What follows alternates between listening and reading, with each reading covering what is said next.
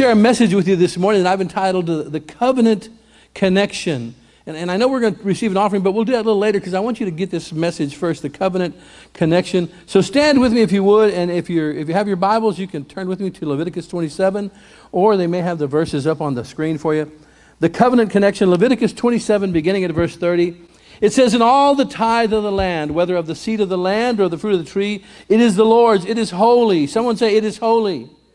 It says, It is holy unto the Lord. And if a man will at all redeem of his tithe, he shall add thereto the fifth part. Somebody say the fifth part. That means 20%. A, a fifth is 20%. And concerning the tithe of the herd of the flock, even of whatsoever path is under the rod, the tenth shall be holy unto the Lord. He shall not search whether it be good or bad, neither shall he change it. And if he change it at all, then both it and the, the changer of shall be holy. It shall not be redeemed. These are the commandments which the Lord commanded Moses for the children of Israel in Mount Sinai. Let's pray. Heavenly Father, we thank you for your word this morning.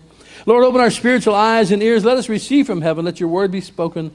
Let your will be done. In Jesus' name we pray. And everyone said, Amen. Thank you so much for being here this morning. You can be seated.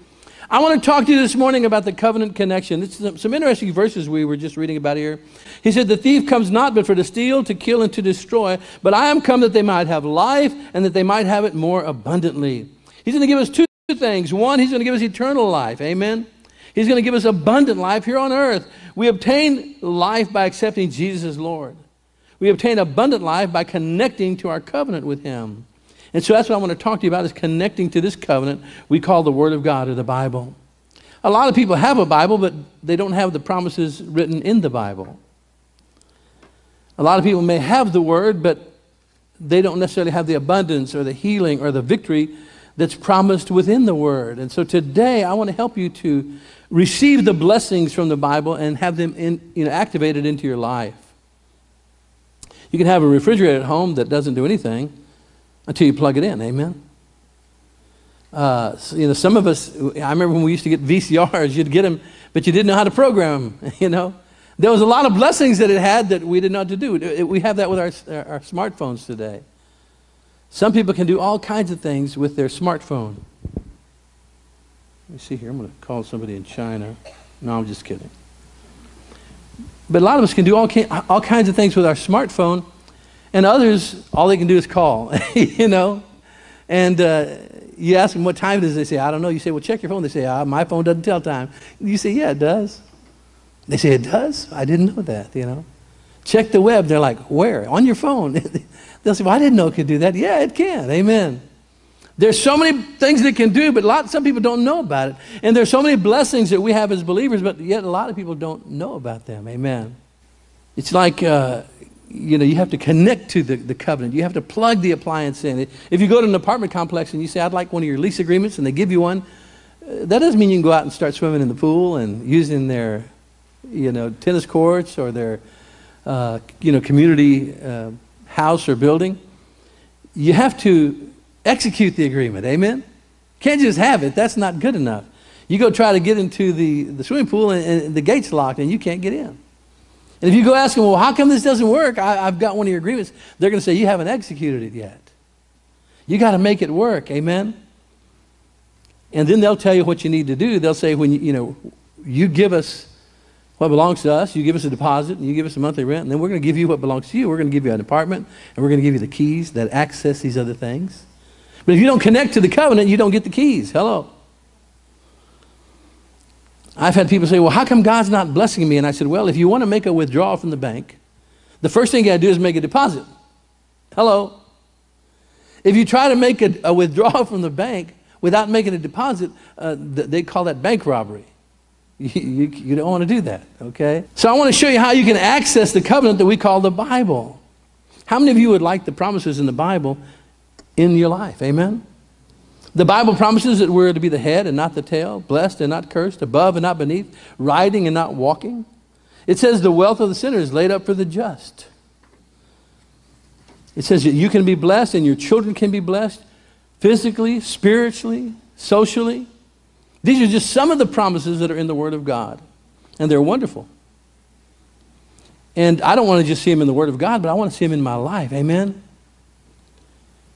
But, but the Bible speaks about connecting to this covenant. In Deuteronomy 8.18, this is what the Word of God says. It says, But thou shalt remember the Lord thy God, for it is he that giveth thee the power to get wealth, that you may establish, or that he may establish his covenant, which he swore unto thy fathers, as it is this day or today. He says, Remember the Lord. It's, he's the one that gives you the ability to gain wealth. See, God gives us hands to work with, and um, a brain to think with, and a mouth to speak with. He, and He gives you the ability to gain wealth. He gives, gives you the ability to earn a living that, that you may be able to establish this covenant. The word establish has within it the word stability, to, or to make it stand, to make it stable. God says, I'm going to give you wealth so you can connect to the covenant. Notice your wealth has something to do with connecting to the covenant. He gives us the ability to gain wealth. It doesn't say He gives us wealth, it says He gives us the ability to gain wealth. And, and, and yes, He does give us blessings, but first we have to connect to the covenant. And we connect by giving something that belongs to us. See, God gave something that belonged to Him, didn't He? For God so loved the world that He gave His only begotten Son. And God wants us to give something that belongs to us. So He gives us the ability to get something. So that now we have something that's ours. So we can give something and connect to His covenant. God wants us to give what we have so that He can give us what we don't have. God wants to give us eternal life. We don't have eternal life, but God makes a provision where we can accept Jesus and receive eternal life. God wants us to have supernatural abundance. We don't have that supernatural abundance, but God makes a provision, amen, so that we can get it, we can access it. And I'm not just talking about the ability to pay your bills or the ability to be debt free, but I'm, I'm talking about the ability to make enough to put money in your bank and let the bank pay interest to you. Amen. So many of us are, are you know, we're trying to pay this bill and that bill and, uh, you know, our credit card payment and our electric payment and our gas payment and our uh, fuel for the car payment and our car payment, our insurance payment. And man, uh, we have too much week at the end of our money. God wants to make it to where you have too much money at the end of the week. Amen. I remember uh, a while back there was a comedian, he was talking about wealth and being rich. He says there's a difference between being rich and being wealthy, being blessed and being abundantly blessed. He said, Shaq, Shaquille O'Neal, Shaq, he said, Shaq is rich. He said, but the guy who pays him his check is wealthy. Amen.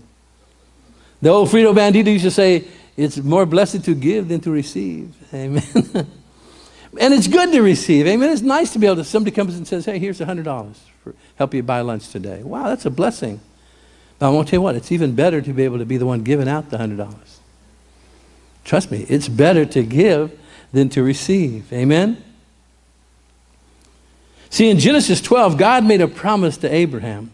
Genesis 12, beginning at verse 1, it says, Now the Lord had said unto Abram, Get thee out of thy country, and from thy kindred, and from thy father's house, unto a land that I will show thee, and I will make of thee a great nation, and I will bless thee, and make thy name great, and thou shalt be a blessing. He said, I'm going to bless you. I'm going to give stuff to you. I'm going to bless you. But I'm going to make you so great that you're going to be a blessing. See, God blesses us to be a blessing. He gives us abundance so that we can become a seed sower, a giver. Amen. He says, I'm going to bless you and I'm going to make your name great, and you shall be a blessing. You're going to be able to bless others. He doesn't want you just to be blessed, but He wants you to be blessed and be a blessing. It's kind of interesting to me that the first thing He said was, Leave your relatives. Hello. Leave those people that are around you that, that don't believe in you. The ones that don't have confidence in you, he said, he said, leave them alone. And I noticed that when, when Abram left them, one of them followed after him. Hello. Lot said, Can I go with you? I want to tell you something. When God starts blessing you, uh, friends and, and family and neighbors will come out of the woodwork. Amen. And they'll all want to tell you what to do with those blessings. Amen. I've had a lot of people tell me, Man, I have so many people that want to tell me how to spend my money. Amen. That happens. Amen. And he didn't say, Abram, I'm blessing you, but rather he said, I'm going to bless you. God made a covenant with Abraham, and as with any covenant or with any agreement, there are stipulations that have to be fulfilled by both parties. It hadn't been established yet. In other words, it hadn't, been, it hadn't stood yet. God told Abraham that he's, I'm going to bless you in Genesis 12. And if you follow Abraham, you can see that God's hand was upon him. But he doesn't get his official blessing until Genesis chapter 14 and beginning at verse 18. It says, Melchizedek, king of Salem, brought forth bread and wine, and he was a priest of the Most High God. Now, now we see Abraham in, in Genesis 14 with God's high priest. And notice, first of all, that the high priest is bringing bread and wine. These are symbols of Holy Communion. What does the bread symbolize? Jesus said, This bread represents my body, which is broken for you the crushed grapes that made the wine, he said, This wine represents my blood, which is shed for you. So the high priest is bringing the symbols of God's part of the covenant. He was saying, Abram, I'm going to give my only begotten son. And you're going to give your son. That's the covenant. See, in any covenant, any contract, you want to give something of similar value.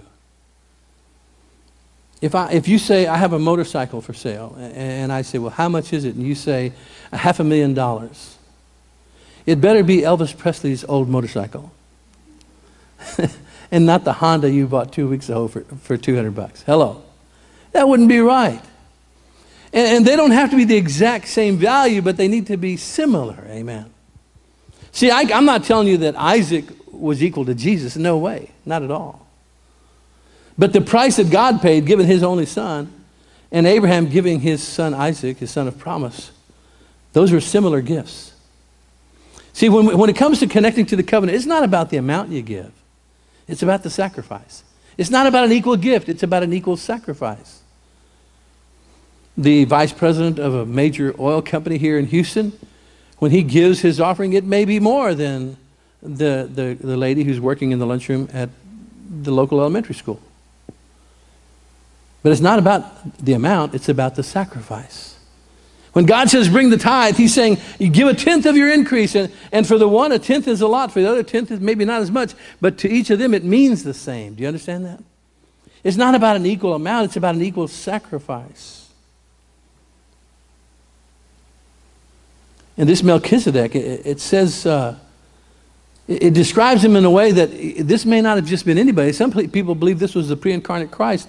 In Hebrews 7, beginning at verse 1, it says, This Melchizedek, king of Salem, which means king of peace, it says, a priest of the Most High God, who met Abraham returning from the slaughter of the kings and blessed him, to whom also Abraham gave a tenth part of all. First being by interpretation king of righteousness, and after that also the king of Salem, which is the king of peace.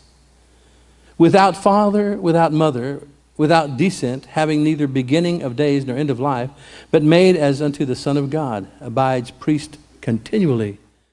Now, what it says about this person, Melchizedek, is that he didn't have a beginning, didn't have an end, he didn't have a mother, didn't have a father, he's been here all the time, and he's the, the priest of God forever. There's only one that fits that description, and that's Jesus. Amen? At the very least, he was a picture of Jesus. Who do we know is the King of righteousness and King of peace? That's Jesus. Amen. So, so this guy was either the pre incarnate Christ or, or at the very least a picture of Jesus. And he's going to establish this covenant with Abraham. And he takes the first step of the, pro, uh, of the process. He brings the bread and wine. That means Jesus is going to give his life. My body will be broken, my blood will be shed. God is saying, I'm giving you my son. And what does Abraham bring? He gives him a tithe or a tenth of all that he has. Sometimes people will tell me, Pastor, is the tithe important? Yes, it's, it's just as important as Jesus. That, that was the covenant. I'm going to give you my only begotten son. And Abraham said, I'm going to give my son. But God said, No, I'm going to give him back to you. You don't have to sacrifice your son. But bring a tithe then, a tenth of your increase. This past week, I was talking to someone whose son is very ill and in the hospital. And I had read an article about something that might be able to help him, and, and I said, hey, listen, I want to show you this. I, I don't know a lot about it, but, I, but I, I've read about this and heard about it, and it might be able to help your son. I said, now I heard it's a little more expensive, and this was the response. I don't care what it costs. I would give anything to save my son. Amen? I mean, wouldn't we all do that? For our children? Oh my gosh. I heard on the news a while back about a little 18 month old boy getting shot it broke my heart. And this is a little boy in, in some other state. I've never met him, I don't know him, but just the thought of that, it was horrible. And then I think about God saying, I'm going to give my little boy, my only begotten son, he's going to die for you. But Abraham, you don't have to give your son. I know that would be the right thing to do. I'm going to give your son back. Just bring a tenth part of your increase and that'll connect to the covenant. Wow. What a loving God that would be. And then for us to say, no, nah, I don't think I want to do that. That's making a mockery of the price that Jesus paid. No, nah, I don't want to do it. No, nah, I need it. I'm, I'm going to get cable TV. Whew. The tithe is holy. Say that again. Say the tithe is holy. When it says the tithe is holy, it means that belongs to God. And if we take what belongs to God and we, and we make it common, we, we put it amongst our own stuff, that makes God very unhappy. I mean, if, if you gave your child's life and, and all somebody else had to do was give a tenth of their paycheck, and they said, nah, I'm not going to do it. I, I want cable TV. I want to get new rims for my car. Would you be a little upset? I, I think you probably would, and rightfully so. In Genesis 14, 19, when they, when they make the, the covenant, it says here, and he blessed him, and he said, Blessed be Abram of the Most High God, possessor of the heaven and the earth. And blessed be the Most High God, which has delivered thine enemies into thy hand. And he gave him a tithe of all he had. Abraham brought a tenth part. the ten is a covenant number. That's why we have the Ten Commandments. That's why in the last days it says there's going to be a ten nation confederation. That's why we have 10 numbers in our numbering system. It's a covenant number that God gave us. Abraham brought the 10th. He connected to the covenant. A lot of people don't realize the, the value of the tithe. And again, it's not about the amount, it's about the sacrifice. Isaac wasn't the same as Jesus. Isaac wasn't perfect. Isaac wasn't sinless. Isaac couldn't walk on water or heal the sick or raise the dead or cast out devils. No, but but Isaac was Abraham's son, and Jesus was the Son of God.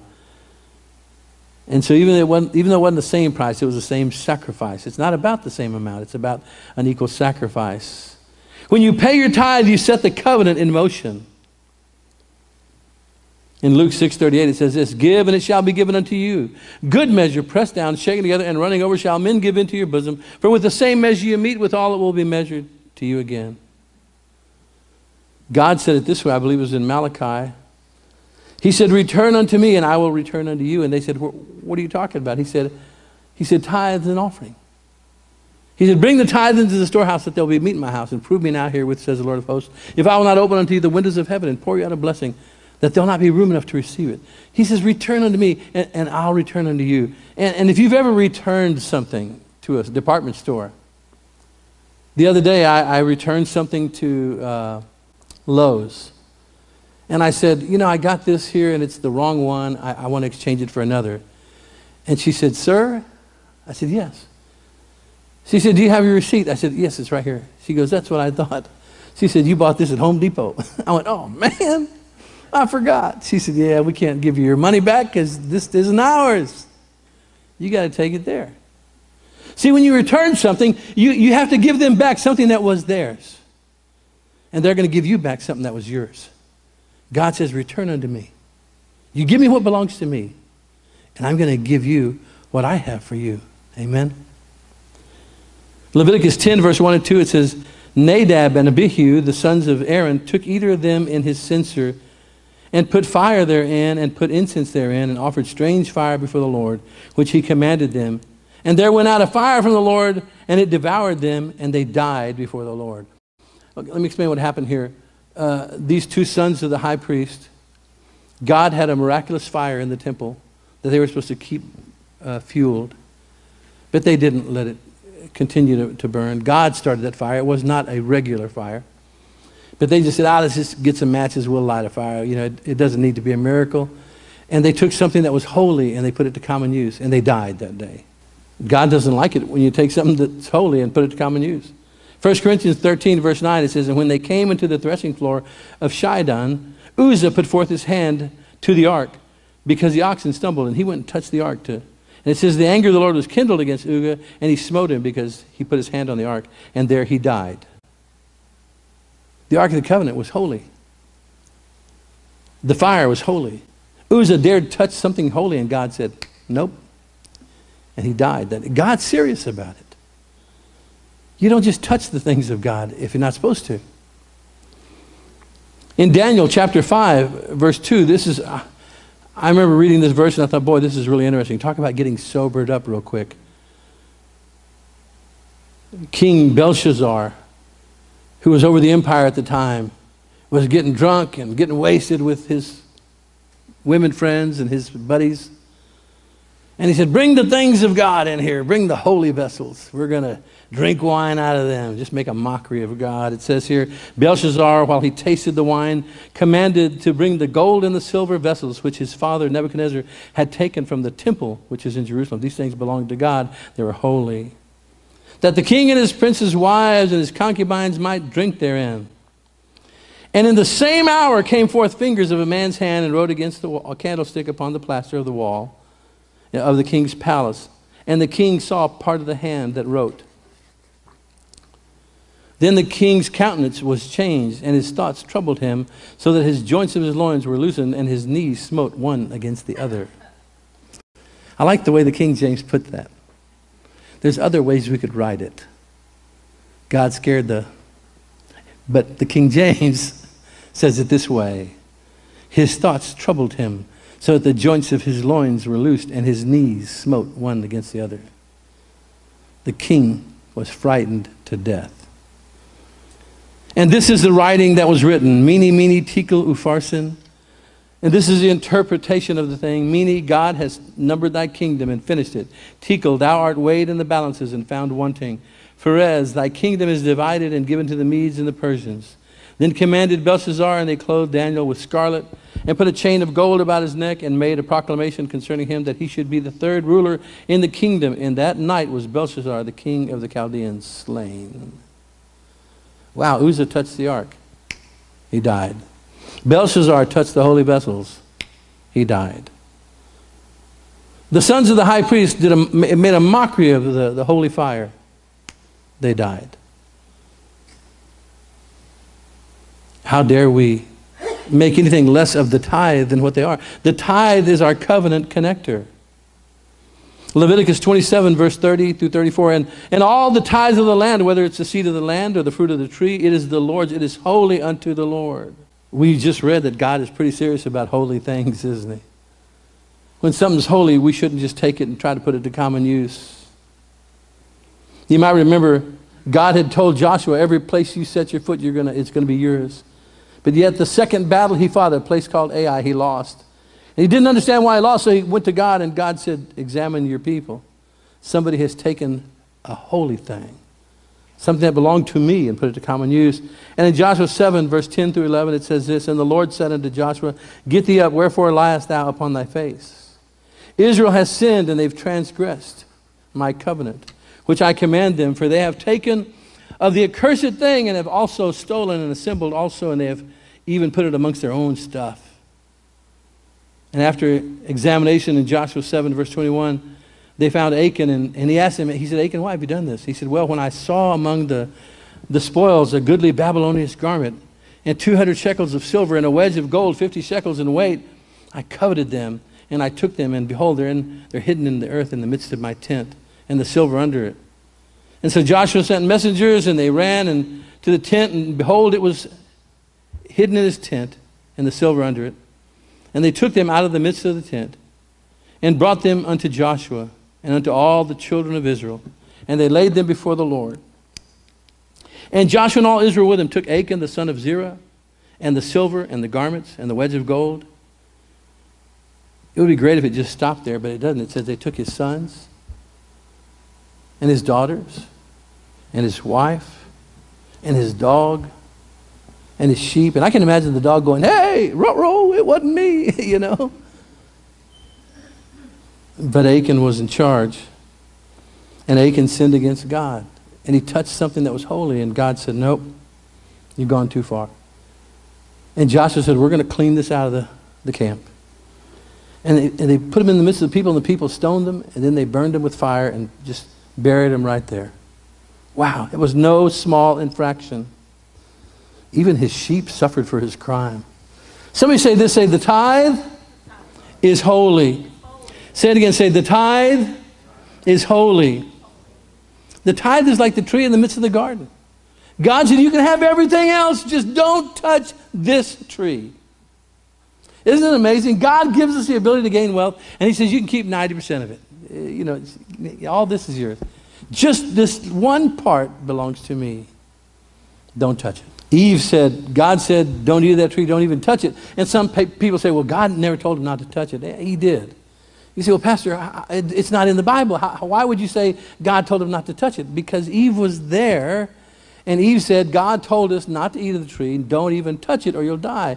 And if Eve was lying, that would have been the first sin, but it wasn't. She wasn't sinning, she was telling the truth. God told him, don't eat of that tree, don't touch it. That's what I tell my kids. Don't get near it. Don't look at it. Hello. Don't go in that room. Stay far away. But temptation. And as a result, God had to take him out of the garden and eat. Not, not as a punishment, but he didn't want them to eat of the tree of eternal life and live for eternity in a handicapped state. God in his love said, get them out of there. Let's restore them and then let them eat of that tree and, and, and, and live forever. And the price of restoration was his only begotten Son. Jesus had to die that we might live. The Son of God became a man so that men could become the sons of God. Wow. The tithe is holy. Somebody say the tithe is holy. Look at the book of Malachi, chapter 3, and see if we maybe can understand these verses a little better now. He says, Even from the days, Malachi 3, beginning at verse 7, even from the days of your fathers, you are gone away from mine ordinances and have not kept them. Return unto me, and I will return unto you, says the Lord of hosts. Give me what belongs to me.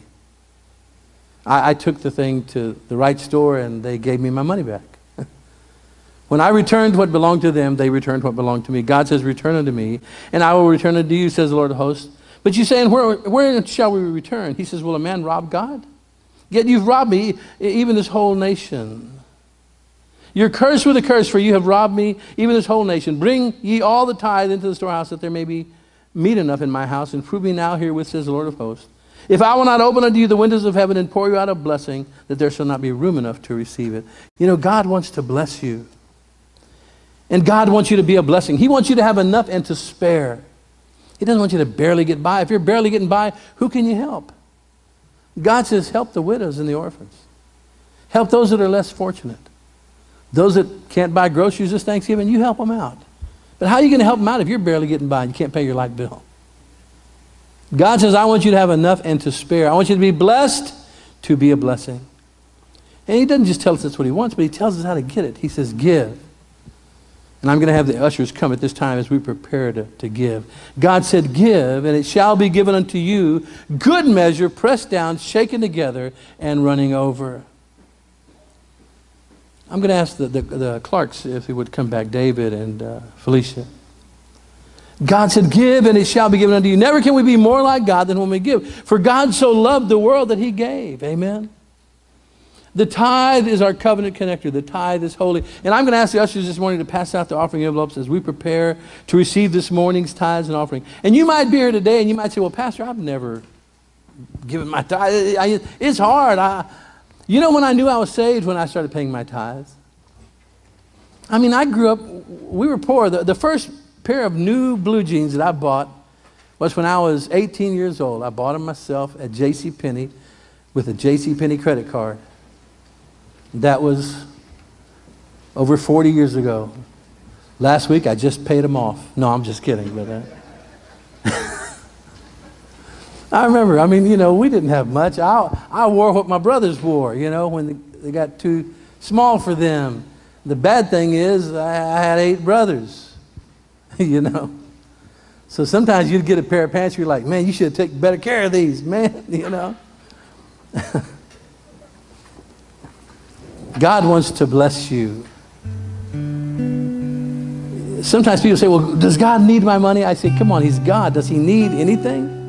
Does God lack anything? Are you kidding me? The earth is the Lord's and the fullness thereof. I said, God doesn't lack anything. He doesn't need, in that manner of the word, anything. I said, but He asked us for something. He asked us to give, not because He wants to get something from us, but He wants to get something to us. He says, Return unto me. I- have got something that belongs to you. But I can't give it to you until you give me what belongs to me. If you'll do that, whoo, I'm going to give you what I promise you. And I want to tell you something. It's a blessing. It'll be pressed down, shaken together, and running over. It'll be more than enough. I'm going to make you blessed to be a blessing. Amen. Let's pray together right now and ask the Lord to direct us in our giving. And I want to encourage you connect to the covenant we call the Word of God. Heavenly Father, we thank you for your presence right now.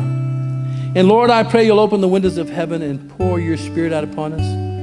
Lord, help us all to be faithful to you and to your Word. Help us to connect to this covenant we call the Word of God. Help us to be faithful in our giving. And Lord, bless the giver, multiply the gift back to them many times over. And as always, we pray that every soul, every dollar given would represent a soul won into the kingdom of heaven. In Jesus' holy name we pray. And everyone said, Amen. Amen. Broadcast I want you to the message ministered to you. Listen, I want to encourage you to invite Jesus to be Lord of your life. If you haven't done that already, do that now. All you got to do is say, Jesus, come into my life. Be Lord of my life. Forgive me of all my sins. Wash them away with your blood. I accept you as my Savior and Lord. And I make a vow to serve you, Jesus, as Lord of my life for the rest of my life. If you prayed that prayer with me, if you believe it in your heart, you confess with your mouth, you're saved. Amen.